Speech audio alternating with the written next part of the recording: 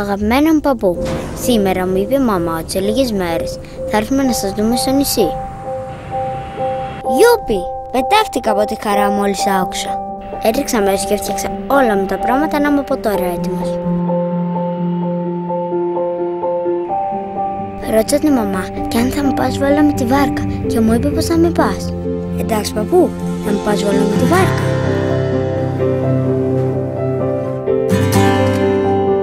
Να ξέρεις πως περιμένω αυτό το ταξίδι, πως περιμένω να πάμε στη θάλασσα. Θα κάτσω και λίγο στον ήλιο χωρίς καπέλο.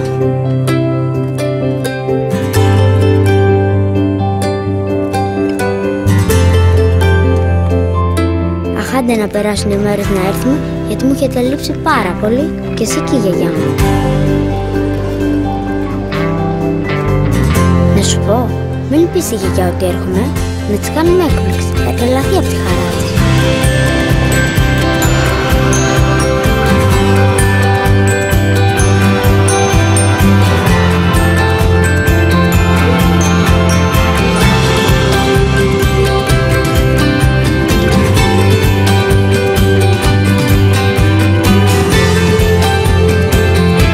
Παππού, σ' αφήνω τώρα, γιατί έρχεται η μαμά και νομίζω ότι κοιμάμαι.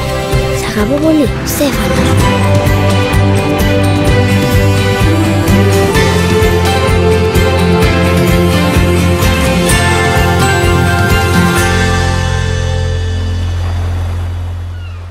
Ιστερόγραφο.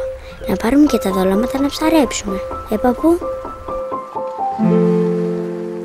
Η Aegean και ο Limbic Air ένωσαν τις δυνάμεις τους για να σε φέρνουν πάντα κοντά. Κοντά σε όσους αγαπάς, σε όσα επιθυμείς, σε όσα θες να ανακαλύψεις. Aegean.